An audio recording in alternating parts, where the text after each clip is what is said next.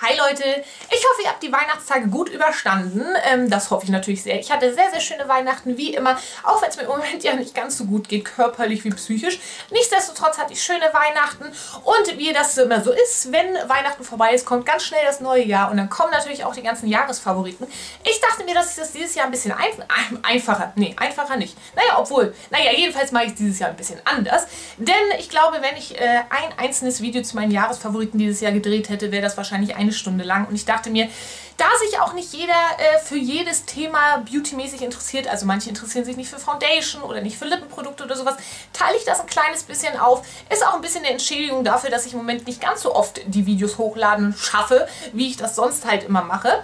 Deswegen gibt es jetzt vier Videos, also vier Jahresfavoriten-Videos. Genau hintereinander werde ich sie hochladen, dann habt ihr vier Tage lang ein neues Video von mir. Heute sind Base-Produkte dran, also das heißt Foundation, Puder, Concealer und so weiter. Dann kommen noch einmal Highlighter und Blush zusammen in ein Video. Augenprodukte, wozu auch Augenbrauen gehören, kommt in ein Video. Und dann noch die Lippenprodukte. So habe ich dann alles abgedeckt. Jeder kann nur die Videos gucken, äh, für die er sich halt interessiert. Und ähm, ja, ich würde sagen, wir legen sofort los. Nein, wir legen noch nicht los, denn ich wollte kurz erwähnen, in meinem letzten Video habe ich ja gesagt, ratet doch mal, was ich mit meinen Haaren gemacht habe, also farbmäßig. Und da war tatsächlich äh, eine, die das erraten hat. Ich werde den Namen jetzt nicht sagen, weil ich immer nicht weiß, ob demjenigen das so recht ist, wenn ich den Namen in einem Video erwähne. Aber auf jeden Fall, diejenige weiß ja, dass sie gemeint ist. Sie hat nämlich geraten, lila, blau, grün und genau das habe ich auch gemacht. Meine Haare habe ich jetzt mittlerweile schon zweimal oder so gewaschen, also ist jetzt schon ein bisschen mehr verblasst, aber es sieht, finde ich, immer noch gut aus. Das lila hätte ich vielleicht ein bisschen weiter weiter runterziehen sollen, aber wenn ich es länger behalten will, wächst es ja weiter runter quasi mit dem Nachtönen. Und ja, also ich mag es total gerne, habe das so noch nie gehabt und wollte ich nur mal kurz so eben erwähnen, dass ich das doch sehr erstaunlich fand, dass jemand das so genau erraten hat. Aber genug davon, fangen wir jetzt an mit dem Video. Das erste ist natürlich Primer. Und zwar haben mich zwei Primer dieses Jahr besonders begeistert. Einer davon ist der Manhattan Perfect and Protect Multi Protection UV Primer mit Lichtschutzfaktor 25. Das ist eigentlich auch der Grund, warum ich ihn ursprünglich gekauft habe. Ähm, weil ich halt einfach im Sommer gerne einen Lichtschutzfaktor noch dazu habe, zu der normalen Creme und so weiter und so fort. Auf jeden Fall fand ich das sehr, sehr gut, dass hier so ein hoher Lichtschutzfaktor drin ist. Hat sich aber auch herausgestellt, dass ich ihn auch ansonsten super toll finde. Er hat eine weißliche Konsistenz, wenn man ihn aber aufträgt, wird er im Endeffekt durchsichtig.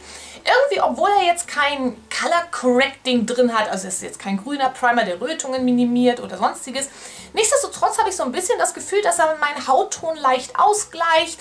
Er lässt meine Haut strahlender wirken, irgendwie frischer, hat auch eine kleine Pore-minimierende Wirkung und das finde ich richtig, richtig toll. Jede Foundation, die ich bisher ausprobiert habe, hat sich wunderbar wunderbar über ihn auftragen lassen, also gar keine Probleme, was das angeht. Und ja, meine Foundation hält sehr gut mit diesem Primer zusammen und ich mag ihn sehr, sehr gerne. Also ich habe selten einen Primer gehabt, der so viele Dinge vereint hat. Also dass er meine Foundation ein bisschen länger haltbar macht. Zumindest habe ich das Gefühl, also ich habe das jetzt nicht getestet, halb, halb oder sowas. Also halb Primer, halb nicht Primer. Aber ich habe tatsächlich das Gefühl, dass meine Foundation ein bisschen länger dadurch hält. Aber was ich halt besonders gut finde, dass er eben meine Haut strahlender wirken lässt. Eben ein bisschen schon Haut, äh, den Hautton ein bisschen ebnet, sage ich immer, ebenmäßiger erscheinen lässt und solche Sachen. Deswegen, ich finde ihn super gut, kann ihn wärmstens empfehlen. Und aus der Drogerie ist er auch noch nicht mal besonders teuer. Man bekommt 30 Milliliter, ich glaube für ungefähr 6 Euro um den Dreh. Finde ich absolut super. Und der zweite Primer, ich glaube, man kann ziemlich gut sehen, dass ich ihn sehr mag, ist ein reiner Silikon-Primer. Also das heißt, den benutze ich wirklich nur an den Bereichen, wo ich vergrößerte Poren habe. Das heißt auf der Nase, hier neben der Nase, im Wangenbereich und ein kleines bisschen am Kinn. Mm, um einfach die Poren zu minimieren und ja, das einfach ein bisschen smoother erscheinen zu lassen. Und das macht er wirklich sehr gut. Ich nehme meistens Schwämmchen, entweder einen kleinen ähm, Beauty Blender oder ein anderes Schwämmchen und drücke das dann richtig so in die Poren quasi rein. Nicht zu viel Produkt, weil dann kann das auch, auch gerne mal sein mit Silikonprimer, dass die sich so ab rollen, sage ich jetzt mal. Also es darf nicht zu viel sein, nicht zu wenig. Drück das ein bisschen in die Poren rein und dann kann ich ganz normal Foundation drüber auftragen, ohne Probleme. Und dann sehen die Poren wirklich deutlich minimierter aus. Ich finde nicht, dass es meine Foundation länger halten lässt oder sowas. Das auf gar keinen Fall. Er macht für mich wirklich nur diesen einen Punkt, dass er die Poren verfeinert, aber das macht er sehr, sehr gut, deswegen benutze ich ihn sehr gerne und wenn ich den aufgebraucht habe, kaufe ich ihn auch nach. Ich hoffe, es gibt ihn noch bei P2, weil ich meine, ich habe ihn noch gesehen Ich hoffe, ich habe mich nicht geirrt, weil der wirklich, wirklich gut ist. Zumindest, wenn man die Poren minimieren will. Dann kommen wir als nächstes zu Foundation. Also ich muss ganz ehrlich sagen, dass ich dieses Jahr, also ich mag die Catrice Even Skin Tone Foundation zum Beispiel, die gibt es ja aber leider nicht mehr. Welche ich noch sehr empfehlen kann, ist die Rivalde Loop Young Skin Optimizer Foundation. Finde ich auch wirklich eine tolle Foundation. Aber was für mich das Allerwichtigste dieses Jahr als Entdeckung für Foundation war, waren einfach diese zwei Mixer. Also das heißt weiße Foundations. Ich bin ja nun mal sehr, sehr, sehr, sehr blass und habe ständig das Problem, dass alle Foundations, Concealer und so weiter mir immer zu dunkel sind. Immer. Ich habe noch nie eine Foundation gefunden, die wirklich komplett meinem Hautton entsprochen ist. Ich habe vielleicht welche gefunden, die ich wenn ich sie gut verblendet habe, zum Hals hin runter und so weiter, dass sie okay aussahen, aber wirklich, dass sie exakt meinem Hautton entsprochen haben, habe ich bisher noch nie gehabt. Deswegen muss ich eigentlich alle meine Foundations mischen und deswegen sind die hier so wichtig. Ich habe beide dieses Jahr entdeckt und finde beide im Endeffekt gleich gut. Einmal die Illamasqua Skin Base Mixer oder der Skin Base Mixer Foundation Adjuster, steht hier noch drauf. Und ich muss ganz ehrlich sagen, das ist ein so tolles Produkt. Ich habe den zufällig bei TK Maxx ergattert, also diesen Mixer hier. Deswegen, ich weiß nicht ganz, ich vermute mal im Internet wird man alles finden, aber ich weiß nicht ganz, wo man ihn einfach herbekommt, weil ich ihn halt bei TK Maxx erwischt habe. Ich werde aber, wenn er leer ist, ihn auf jeden Fall nachkaufen. Er hat eine recht ähm, feste Konsistenz, also er ist flüssig. Es ist ein flüssiger Mixer, also eine flüssige Foundation, aber relativ, also sie läuft nicht runter. Wenn ich die jetzt hier auftragen würde, würde sie nicht runterlaufen, sondern schon etwas fester. Ich würde auch sagen, dass sie durchaus die Deckkraft der Foundations, mit denen ich sie mixe, ein bisschen verstärkt, also ein bisschen höhere Deckkraft macht. Deswegen übertreibe ich es nicht mit ihr, weil ich persönlich mag es ja nicht, kein Full Coverage oder sowas, das ist ja nicht so mein Ding. Aber dadurch, dass sie eben diese etwas äh, stärkere Deckkraft hat, braucht man davon nicht viel. Es ist wirklich eine rein weiße Foundation mit wirklich genug weißem Pigment, dass es wirklich die Foundation gut aufhält.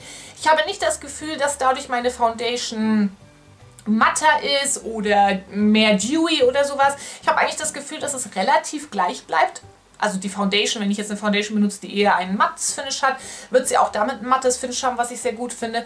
Aber die Konsistenz ändert sie halt ein kleines bisschen, weil sie die Deckkraft halt erhöht. Ansonsten finde ich die super, super gut. Man braucht wenig. Sie hat super Pigmentierung. Ich habe alles schon gesagt zu dieser Foundation. Sie ist einfach nur wirklich toll. Und genau das gleiche kann ich eigentlich auch zu dieser hier sagen. Von LA Girl, die Pro Coverage High Definition Longwear Illuminating Foundation. Super, super, super Foundation Mixer auch wirklich viel weißes Pigment drin, das heißt, man braucht nicht viel. Ich finde auch, dass hier diese Foundation ein kleines bisschen die Deckkraft erhöht. Sie ist ein bisschen flüssiger als die Illamasqua Skin Base Foundation, aber wie gesagt auch nicht so, dass sie sehr flüssig ist. Lässt sich aber auch mit jeder Foundation, zumindest mit der ich es bisher ausprobiert habe, super gut mixen. Hier allerdings finde ich, das ähm, ist mir erst später aufgefallen, aber ich finde, dass sie die Foundations ein kleines bisschen mehr dewy ausschauen lässt. Aber wirklich so minimal, dass ich sagen würde, das fällt kaum auf, nur wenn man wirklich genau hinguckt. Stört mich generell überhaupt nicht, weil ich ja so ein semi-mattes, semi-dewy Finish, sage ich mal, sehr, sehr gerne mag. Deswegen stört mich das nicht, dass die Foundations ein bisschen mehr strahlender ausschauen lässt. Man braucht nicht viel super Pigmentierung, lässt, wie gesagt, die Foundation ein bisschen mehr Deckkraft haben. Aber ja, das sind meine absoluten Lieblingsmixer und ich kann die beide sehr empfehlen, wenn ihr auch so hell seid wie ich und damit immer Probleme habt. Also damit Probleme habt, dass die Foundations über alles dunkel sind. Bei Mineral Foundations sind diese beiden hier und zwar gemixt. Ich trage sie, also sagen wir mal so, die Bare Minerals trage ich mittlerweile nicht mehr einzeln, weil sie mir halt zu dunkel ist und äh, deswegen gemixt. Jedenfalls sind die auch einzeln sehr, sehr toll, aber gemixt sind sie für mich persönlich super, super toll. Einmal ist das die Bare Minerals ähm, Original Foundation mit Lichtschutzfaktor 15 in der Farbe Fair, also die hellste Farbe. Ich wünschte, da gäbe es noch eine hellere. Und einmal von Lily Lollo die Mineral Foundation, auch mit Lichtschutzfaktor 15 in Porcelain, auch die hellste Farbe. Vom ähm, Farbton her ist die hier deutlich heller als diese hier. Beide, würde ich sagen, haben eher einen gelblichen Unterton, aber die ist wirklich um einiges heller. Nichtsdestotrotz würde ich nicht sagen, dass sie komplett hell genug ist, dass ich sie alleine verwenden kann und sie exakt meinem Hautton entspricht. Ich kann sie alleine verwenden, wenn ich sie schön runter verblende und dann sieht es super aus, also kein Problem. Bei dieser hier wird es schwierig. Also die muss ich mischen, weil sie mir sonst wirklich zu dunkel ist und zwar so, dass man es auch sieht. Ich persönlich bin ja ein Fan von Mineral Foundation. Ich finde das ganz, ganz toll, dass man da die Deckkraft sehr gut äh, variieren kann und so weiter und so fort. Ich habe ein ganzes Video zu Mineral Foundation gemacht, wie ich sie auftrage, worauf ich achte, was ich gut finde und so weiter. Ich verlinke euch das gerne hier in der Infokarte, könnt ihr euch das anschauen, wenn ihr da Interesse dran habt. Aber auf jeden Fall die zwei sind so toll gemischt optimal. Diese hier von äh, Bare Minerals hat eher ein Dewy Finish, würde ich sagen. Also die ist schon eher glowy. Ich würde es niemandem empfehlen, der sehr ölig ist, weil ich glaube, da wird sie nicht so gut halten, sondern eher für Leute, die normale Haut haben, vielleicht auch trockene Haut. Denke ich, sollte da auch kein Problem sein. Und äh, diese hier hat eher ein matteres Finish. Also deswegen finde ich halt diese Mischung zwischen den beiden so toll, weil man halt diesen wunderschönen semi-matten, semi-dewy Finish hat. Also finde ich einfach irgendwie am allerschönsten. Es sieht halt am meisten aus wie Haut. Was die Deckkraft angeht, ähm, ist das bei Mineral Foundations halt alles recht ähm, variabel, würde ich sagen. Also ich kann eine ganz leichte Deckkraft hinbekommen, ich kann sie aber auch zu einer mittelhohen Deckkraft hinbekommen. Für Coverage finde ich immer mit Mineral Foundation ein bisschen schwierig, aber zur mittleren hohen Deckkraft, sagen wir mal. Und ja, ich finde die beide sehr, sehr gut. Werde mir die definitiv nachkaufen, wenn sie mal leer sind und kann ich sehr empfehlen. Also gerade diese hier für ölige Haut, glaube ich, wird sie auch ganz gut sein, weil sie halt recht matt ist und das vielleicht eher für ähm, trockene, normale Haut, sagen wir mal so. Und gemischt ist es für mich mit Mischhaut einfach perfekt. Dann kommen wir zu Concealern. Ich habe einige Concealer dieses Jahr ähm, ausprobiert, die ich okay fand, die funktioniert haben. Aber ich habe eigentlich drei Favoriten, die ich tatsächlich meistens sogar alle drei gemischt auftrage. Also ich trage sie alle drei gleichzeitig ähm, auf, habe sie auch heute so benutzt. Fangen wir an mit dem MAC Prolonger Concealer. Ich liebe diesen Concealer einfach. Ich habe ihn in der Farbe NC15. Wie man sieht, ich habe ihn schon ordentlich aufgebraucht und ich habe ihn aber schon sehr, sehr lange. Also ich habe keine Ahnung wie lange, aber zwei Jahre bestimmt. Und ich muss einfach sagen, es ist immer noch meiner Meinung nach einer der besten Concealer, weil er eine wirklich hohe Deckkraft hat. Er hält sehr, sehr lange auf der Haut. Ich finde nicht, dass er irgendwie Fältchen wahnsinnig stark betont oder ähnliches. Wenn man jetzt sehr, sehr trockene Augen, also einen Augenbereich hat zum Beispiel, wenn er sehr, sehr trocken ist, dann wäre ich vielleicht vorsichtig, weil er schon etwas trocken ist. Wahrscheinlich auch durch die hohe Deckkraft. Aber für mich persönlich, wo ich jetzt zwar etwas trockenen Unteraugenbereich habe, Unteraugenbereich, also unter den Augen etwas trocken aber nicht übermäßig, ist er wirklich völlig in Ordnung. Die Farbe könnte natürlich bei mir um einiges heller sein, deswegen mische ich ihn immer. Aber ansonsten, ja, gute Deckkraft, hält wunder wunderbar. Übrigens finde ich den auch genial als äh, Primer unter Lidschatten. Äh, das ist einfach, äh, da hält jeder Lidschatten bombenfest, ohne Probleme. Ich benutze meistens gar keinen Lidschatten-Primer, weil ich einfach den Concealer nehme, mache ihn auch auf mein Lid drauf und fertig. Er ist nicht günstig, man bekommt aber 9 Milliliter, was echt nicht wenig ist. Man braucht ganz wenig nur von ihm weil er eben so gut deckend ist und weil er eben wirklich sich sehr, sehr gut verteilen lässt. Also man braucht nur eine kleine, kleine Mini-Größe und kann damit wirklich den ganzen Augenbereich bearbeiten, sage ich jetzt mal. Deswegen ja, für mich ein Favorit und ich werde den definitiv nachkaufen, wenn ich den leer gemacht habe. Dann mein persönlicher absoluter Lieblingsconcealer, vor allen Dingen wegen dem Finish. Ich denke, wenn ihr mich schon länger verfolgt, wisst ihr das. Der Catrice oder beziehungsweise die Catrice Liquid Camouflage High Coverage Concealer oder doch der High Coverage Concealer. Ich habe ihn hier in der Farbe 005 Light Natural. Ich habe aber auch den 010, die ich beide abwechselnd benutze, denn ich mische das ja, wie ich ja schon gerade gesagt habe, ich mische das mit einem Concealer, den ich euch gleich zeige. Im Prinzip fast jeden Concealer, den ich benutze, mische ich mit dem, den ich euch gleich zeige. Aber auf jeden Fall. Er hat eine gute Deckkraft, dieser Concealer. Ich würde nicht sagen, wenn man mich jetzt fragen würde, welcher hat mehr Deckkraft, würde ich sagen, hat der Prolongwear ein kleines bisschen mehr Deckkraft, aber das Finish ist halt bei dem hier so toll. Und die Deckkraft ist gut. Also, ne, man soll jetzt nicht denken, dass sie nicht gut ist. Ich würde sagen, eine mittlere bis hohe Deckkraft, aber nicht Full Coverage, das würde ich nicht sagen. Nichtsdestotrotz hat er eine gute Deckkraft. Was ich an ihm liebe, wie ich jetzt schon hundertmal erwähnt habe, ist einfach das Finish. Also gerade wenn ihr trockene Haut habt, meiner Meinung nach, er lässt die Haut so smooth ausschauen wenn ich irgendwelche trockenen Stellen hier auf der Wange habe, da neige ich nämlich dazu, und den hier benutze, die werden nicht irgendwie hervorgehoben. Im Gegenteil, ich habe das Gefühl, die wirken sogar ein bisschen minimiert. Ich, ich kann das nicht beschreiben, aber ich finde, er hat ein so wunderschönes Finish. Er lässt irgendwie Poren minimierter erscheinen. Alles sieht einfach so richtig smooth aus und fast wie so ein kleiner Blur-Effekt dabei. Also ich liebe ihn über alles. Ich, er steht drauf, glaube ich, dass er waterproof ist. Das kann ich nicht bezeugen. Also auch wenn ich ihn unter Auge benutze und mein Auge tränt, dann geht der Concealer da auch weg. Also ich finde nicht, dass er waterproof ist, sagen wir mal so. Aber alles andere macht er super. Er hält bei mir sehr, sehr gut, wenn nicht gerade mein Auge irgendwie das alles wegwäscht. Aber ansonsten hält er super, super toll. Auch er lässt meinen Augenbereich nicht irgendwie extrem trocken ausschauen oder sonstiges. Wenn ich ihn sette, übrigens sette ich meine Concealer immer. Also ich sette die immer und gesettet halten die alle bombenfest. Der Pro Longwear Concealer ist tatsächlich aber einer der wenigen Concealer, auch wenn ich ihn nicht sette, hält er wirklich sehr, sehr gut. Also, und creased dann auch nicht übrigens. Den hier würde ich sagen, muss man setten, ansonsten creased er. Wenn man ihn aber gesettet hat, creased er gar nichts, hält wunderbar. Ich liebe ihn einfach. Und wenn Catrice den jemals aus dem Sortiment nimmt, dann werde ich stinke, stinke sauer. Und dann werde ich 20, 30 Stück davon kaufen müssen, weil ich ihn so liebe. Ich mische ihn mit jedem Concealer, einfach weil er dieses schöne Finish hat. Und das ist der Concealer, von dem ich gerade geredet habe, den ich eigentlich immer mit reinnehme zu mischen. Einfach um die Concealer, die ich benutze, aufzuhellen. Und zwar ist das der NYX HD Studio Photogenic Concealer in der Farbe Lavender, also CW11 Lavender. Es ist ein ähm, heller, ein hell lila Ton, ein Lavenderton, Lavender, Lavendelton. Das ist einfach perfekt, um, auf, um Concealer aufzuhellen. Der hat eine schöne Deckkraft. Ich habe übrigens auch da die normale Version davon in der hellsten Farbe. Und der ist wirklich sehr, sehr schön hell, was ich sehr positiv finde. Also die hellste Farbe, ich meine jetzt nicht der lila, wobei der lila auch recht hell ist. Ich rede schon wieder um den heißen Brei herum. Jedenfalls ist dieser hier perfekt zum Mischen. Er hält die Concealer wunderbar auf, nimmt Concealer, die vielleicht zu gelbstichig sind, etwas, diesen Gelbstich nimmt, nimmt er halt ein kleines bisschen weg und lässt sie ein bisschen neutraler wirken, was für mich sehr, sehr gut ist, weil ich eher ein neutralen bis leicht gelblichen Hautton, Hautton habe, aber relativ neutral. Deswegen, ich muss ganz ehrlich sagen, zum Mischen ist er perfekt. Ich wünschte nur, es wäre ein bisschen mehr drin. Ich finde, hier ist ein bisschen wenig drin. Hier sind nur 3 Gramm drin. Wird immer relativ schnell leer, das ist das Einzige, was ich an ihm bemängel. Wenn ihr ihn ausprobieren wollt, ich meine jetzt die normalen Farben, wie schon gesagt, da habe ich auch die hellste Farbe. Moment, das hier ist die hellste Farbe von ihm, das ist die CW01 Porcelain und ähm, wie gesagt, ich finde die Farbe schon recht schön hell. Nichtsdestotrotz mische ich noch ein kleines bisschen rein, damit es dann perfekt ist.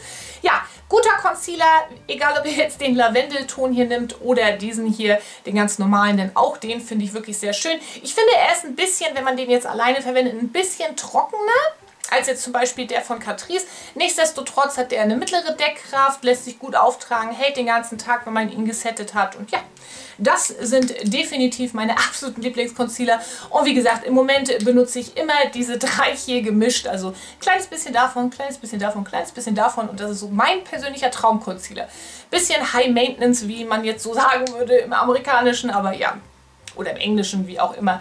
Ich finde diese Concealer toll, finde sie einzeln toll und gemischt sind sie grandios. Dann kommen wir jetzt zu Pudern. Da muss ich euch äh, leider auch ein EE-Produkt äh, zeigen, weil das mein absolutes Lieblingspuder dieses Jahr war. Also unter anderem, ich zeige euch zwei Produkte. Ansonsten versuche ich möglichst in diesen Videos keine EE-Produkte zu zeigen. Vielleicht kommt mal eins oder sowas, schleicht sich mit rein. Aber generell finde ich es aber immer so blöd und gemein, wenn ich irgendjemanden anfixe für Produkte, die er dann wirklich gar nicht mehr bekommen kann. Also ich habe das ja auch öfters, wenn ich irgendwelche Sachen sehe, die es nicht mehr gibt und ich sie abgöttisch gerne hätte, abgöttisch gerne hätte und ich sie gerne hätte. Deswegen mache ich es nicht so gerne. In dem Fall, ach, ich, ich, liebe dieses Puder einfach. Und zwar ist das von Essence aus der Little Beauty Angels LE. Die Color Correcting oder das Color Correcting Anti-Dullness Loose Setting Powder in der Farbe 02 am Flawless Lily, was ein lavendelfarbenes Puder ist. Also ein sehr, sehr heller lila Ton ist das und ich liebe dieses Puder so sehr. Ich habe es auch heute benutzt. Ich finde dieser leicht lilafarbene wie soll man sagen, also es ist halt nur leicht lilafarben. Es ist halt nicht wirklich, dass man das Gefühl hat, man pudert sich jetzt mit irgendeinem lila Puder ein, sondern es hat nur einen leichten Lavendelton, was meinem Hautton aber sehr, sehr gut tut. Meine Haut sieht dadurch strahlend aus. Ich finde, die Haut sieht etwas ähm, heller aus. Also was ich damit meine ist, wenn ich jetzt irgendwie Foundation habe oder sowas und habe es nicht ganz so hell gemischt, wie es hätte sein müssen, auch wenn das nicht ganz so ist wie ein weißes Puder, was gleich noch kommt, hat es trotzdem so einen, bei mir zumindest, so einen leicht aufhellenden Effekt. Irgendwie sehe ich mit diesem Puder frischer aus und weiß ich nicht, es sieht einfach nur schön aus durch diesen leichten lila Teint. Aber ich finde auch das Puder an sich gut. Es hält mich wirklich schön matt, aber auch nicht übermäßig matt, was ich ja sehr gut finde. Lässt die Haut einfach nur sehr, sehr schön ausschauen und hält gut. Deswegen, ich finde das so toll und ich freue mich total, dass die liebe Lou mir ihrs geschenkt hat, weil äh, ihrem Hautton hat das nicht ganz so gut gefallen, äh, dieser lilane Ton. Deswegen, ich bin sehr, sehr froh, dass ich da noch ein Backup habe. Aber wenn das leer ist, werde ich darüber sehr traurig sein und muss auf die Suche nach einem anderen guten lilafarbenen ähm, Puder gehen, weil das finde ich wirklich sehr, sehr schön. Und ich hoffe, dass Essence das vielleicht nochmal irgendwie rausbringt. Aber das hier ist mein Retter quasi bei Mineral Foundations, wenn sie mir zu dunkel sind oder irgendwelche anderen Sachen, wenn ich keinen Bock habe zu mischen und trotzdem mein Teint etwas aufhellen muss, ist es dieses Puder, was mein Hintern rettet. Und zwar ist das von Stargazer das Pressed Powder in White. Wie der Name schon sagt, ein rein weißes Puder. Ich habe davon schon so viele aufgebraucht. Ich glaube, ich habe das bestimmt schon dreimal bestimmt leer gemacht und ich kaufe es immer wieder. Ich bestelle es immer bei Ebay. Letztens habe ich es aus England halt bei Ebay bestellt, kam aber innerhalb von einer Woche an für 5 Euro, versandkostenfrei und so weiter und so fort. Ich finde es super. Es ist von der Textur her weich definitiv. Es ist nicht übermäßig weich. Also ich habe schon weichere Puder gehabt, zum Beispiel wenn, ähm, also als wenn die sich schon fast so anfühlt, als wenn da Silikone oder sowas drin wäre. Das ist es nicht. Es ist aber definitiv auch nicht ähm, trocken. Also es hat wirklich ein seidiges Finish. Es hält wirklich toll auf, weil das wirklich ein weißes Puder ist. Also das ist wirklich weiß, mit Weißpigmenten. Also ich würde es niemandem empfehlen, der eine dunklere Hautfarbe hat als ich. Oder zumindest nicht viel, viel dunkler, weil das würde dann schon seltsam ausschauen. Ich benutze es, wie gesagt, sehr, sehr gerne zum Aufhellen hinterher oder manchmal auch zum matten Highlighten. Also das heißt, wenn ich zum Beispiel hier am Kinn, Nase, bisschen an der Stirn oder hier im Wangenbereich, wenn ich das bisschen aufhellen will, nehme ich das zum matten Highlighten. Aber es ist ein schönes Puder. Es lässt die Haut sehr smooth ausschauen. Es ist ähm, mattierend, aber auch nicht übermäßig mattierend, finde ich. Also ich schaue damit auch nicht totmatt aus. Hat eine gute Pigmentierung, was ja bei diesem weißen Puder recht wichtig ist, wenn man es zum Aufhellen möchte. Und ja, betont meiner Meinung nach keine Poren noch sonstiges, lässt alles wunderschön smooth ausschauen und ja, ist und bleibt ein Favorit von mir. Und das letzte zum Thema Base-Produkte ist das Setting Spray. Da habe ich im Moment nur eins, was ich wirklich sehr, sehr liebe und das ist MAC Fix Plus, der Klassiker. Ich finde einfach, das, das nimmt das pudrige Finish so toll von der Haut weg. Ich habe tatsächlich auch das Gefühl, wenn ich das benutze, dass mein Make-up dadurch länger hält. Ich weiß nicht, woran das liegt. Viele sagen, dass das daran liegt, wenn man jetzt viel Puder benutzt, was ich im Normalfall tue, und das dann auch mit Wasser quasi wirklich viel Wasser auf die Haut macht und das dann trocknet, dass es so ein bisschen wie ein Lock-in-Effekt hat und dadurch ein bisschen besser hält. Keine Ahnung. Auf jeden Fall habe ich wirklich das Gefühl, wenn ich es benutze, dass mein Make-up etwas länger hält aber wirklich nur etwas. Also das ist jetzt nicht so, dass wenn man jetzt eine Foundation hat, die sonst nur sechs Stunden hält, dass es mit so einem Setting Spray plötzlich äh, zwölf Stunden hält. Nein, das auf gar keinen Fall. Aber ich habe irgendwie das Gefühl, wenn ich MAC Fix Plus benutze, dass mein Make-up länger frisch ausschaut. Ich glaube, das ist es eher. Das ist gar nicht, dass es länger hält, sondern irgendwie länger frisch ausschaut. Ich glaube, so ist es eher richtig. Und natürlich, ich finde es super, wenn ich irgendwie Lidschatten nass benutzen möchte, mir fiel gerade das Wort nass nicht ein, oh Gott.